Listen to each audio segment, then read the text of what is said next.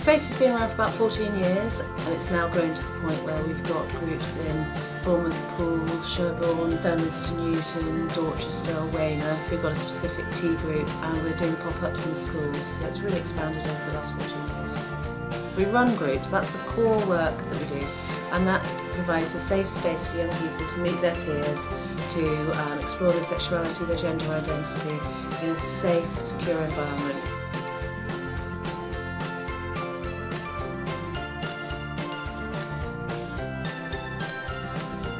It's great to see all our young people being able to be themselves in a public forum and to feel supported and celebrated. The exhilaration of the young people, particularly those that it's their first pride when they come down and they've walked through the town um, in front of everybody and they've been able to be themselves, they've had the camaraderie of their friends.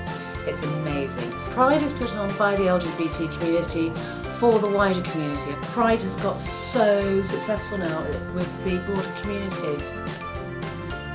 It is a celebration, it's a party, and it's saying we're here and we're proud.